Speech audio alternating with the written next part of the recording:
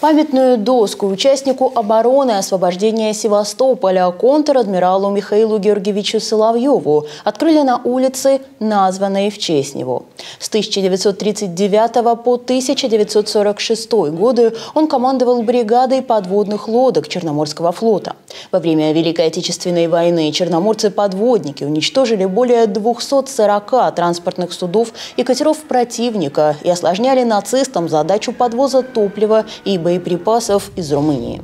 К примеру, подводная лодка Л-4 э, в его подчинении была, она, по воспоминаниям э, ветеранов-подводников, только за, в период 41-42 года 17 раз приходила в Севастополь, в тяжелейших условиях привозила бензин, боезапас. Бензин это для самолетов боезапас, значит, и вывозила, эвакуировала раненых 17 раз.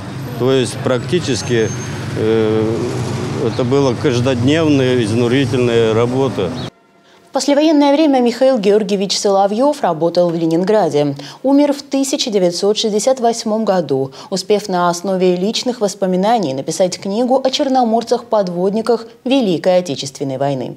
Сейчас мемуарно-исторический очерк «Это было на Черном море» готовится к изданию в северной столице. Он очень такой скромным человеком очень был всегда. И последние годы он писал воспоминания, очерки по, о, о действиях военных лодок во время Великой Отечественной войны. И, в общем, я его больше запомнила, что он сидит, работает за, за письменным столом дома. дома. Увековечить память участника обороны и освобождения Севастополя удалось благодаря усилиям региональной организации ветеранов-подводников.